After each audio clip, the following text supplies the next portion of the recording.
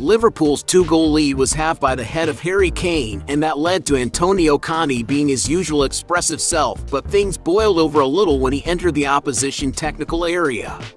The Italian manager seemed to want to hurry the proceedings of a new ball entering the pitch, but he wasn't able to and that clearly frustrated him. The Spurs boss went over to Pep Lijnders and decided to slap the ball out of his hands.